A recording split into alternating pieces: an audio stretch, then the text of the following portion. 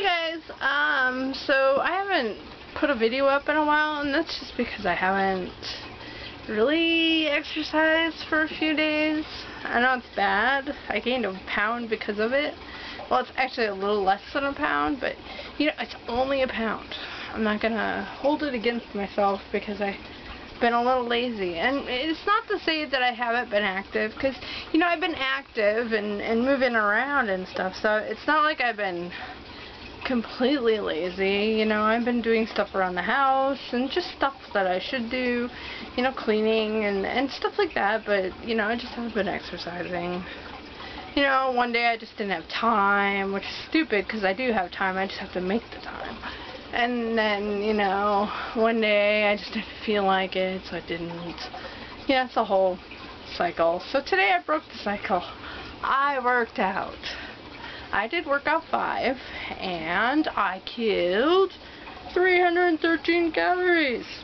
So we have here at my house the scales with the little go roundy roundy thing with the little needle. So I just I've been hearing that getting a digital scale is a lot more accurate.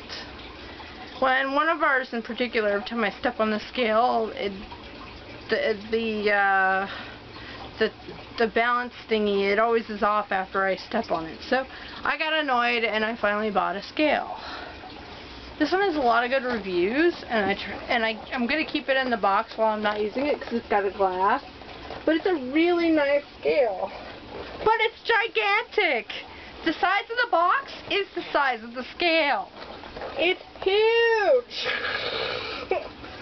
it's gigantic, but it's a really nice scale you know, you don't even have to like tap it or anything. You just step onto it and it gives you your weight.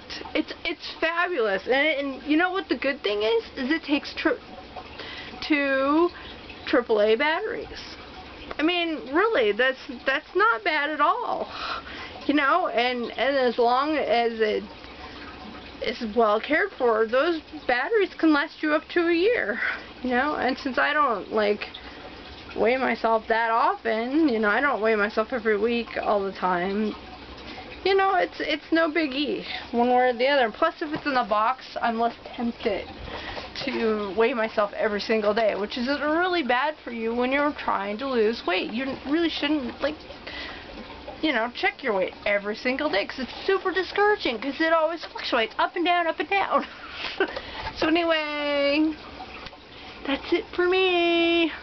Just me.